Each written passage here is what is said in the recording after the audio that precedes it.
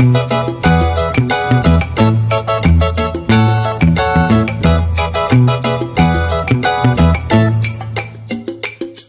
दोस्तों, परदेसी flight YouTube channel पर आप सभी का वेलकम है। दोस्तों फ़्लाइट और ट्रेवल्स को लेकर कुछ बहुत ही ज़रूरी अपडेट है। भारत में नए साल में नई एयरलाइंस दस्तक देने जा रही है। इसके अलावा सिंगापुर फ़्लाइट को लेकर ज़रूरी अपडेट है। साथ में दोस्तों, भारत ने निन्यानबे देशों के साथ में फ़्लाइट शुरू की है।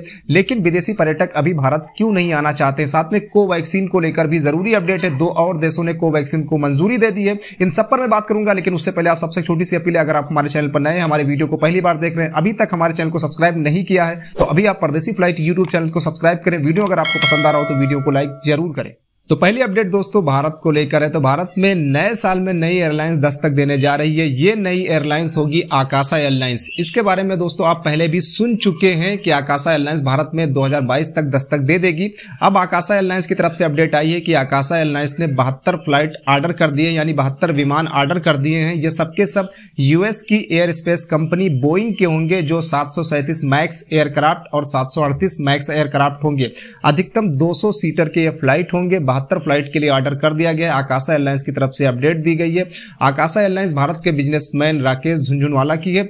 राकेश झुंझुनवाला कुछ महीने पहले भारतीय प्रधानमंत्री नरेंद्र मोदी से मिले थे। उसके कुछ समय के बाद भारत के सिविल एविएशन मंत्रालय ने आकाशा एयरलाइंस को एनओसी भी जारी कर दिया, यानी नो ऑब्जेक्शन सर्टिफिकेट जारी कर दिया। उसके बाद से साफ़ हो गया कि आकाशा एयरलाइंस अगले साल से भारत में दस्तक दे देगी। तो अब दोस्तों अपडेट आ चुकी है कि आकाशा एयरलाइंस ने बहत्तर विमान ऑर्डर कर दिए हैं और अगले साल से आकाशा एयरलाइंस चलने लगेगी। भारतीय डोमेस्टिक में अभी तक इंडिगो का कब्जा है। इंडिगो ने 50 फ़ीसदी मार्केट पर कब्जा किया हुआ है डोमेस्टिक में और अब आकाशा एयरलाइंस भी आ जाएगी तो काफ़ी घमासान मचने की उम्मीद है डोमेस्टिक सेक्टर में।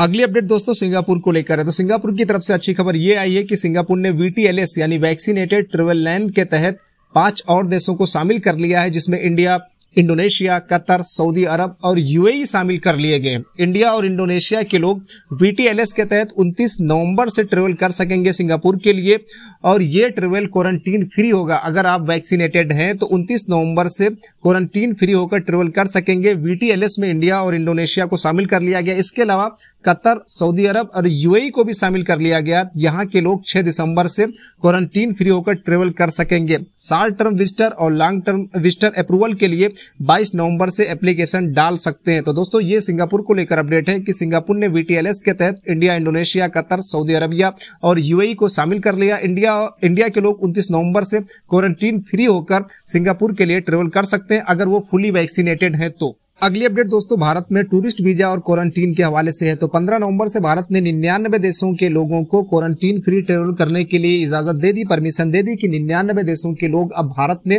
बिना किसी क्वारंटीन के आ सकते हैं अगर वो फुली वैक्सीनेटेड हैं तो। इसके अलावा दोस्तों 15 अक्टूबर से भारत ने टूरिस्ट वीज़ा भी रिज्यूम कर दिया था, शुरू कर दिया था। लेकिन शर्त ये थी कि टूरिस्ट वीज़ा पर अभी इंडिया में वही लोग आ सकते थे, जो लोग चार्टर फ़्लाइट से इंडिया में आएँगे और फ्लाइटों से इंडिया में नहीं आ सकते थे। लेकिन पंद्रह नवंबर से उन लोगों को भी परमिशन दे दी गई, जो लोग एयर बबल की फ़्लाइट से आना चाहते हैं।